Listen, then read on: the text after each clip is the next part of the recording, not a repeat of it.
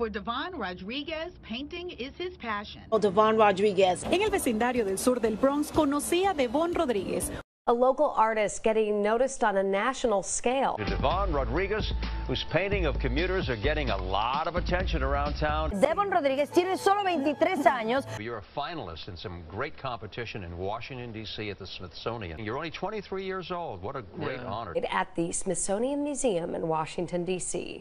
Ganando el reconocimiento de un importante museo de los Estados Unidos. At the Smithsonian Institution. At Manhattan School of Art and Design, he blossomed.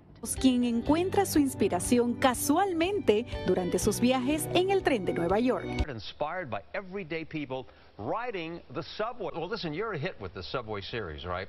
And, and you're having a lot of fun. You go in the subway and you just kind of look around. Devon was recently profiled in the New York Times and now has a six-month waiting list. Reconocido por el